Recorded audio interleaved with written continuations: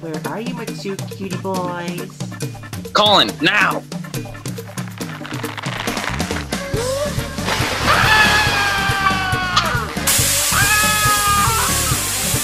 Well, good job, BFF. We did it.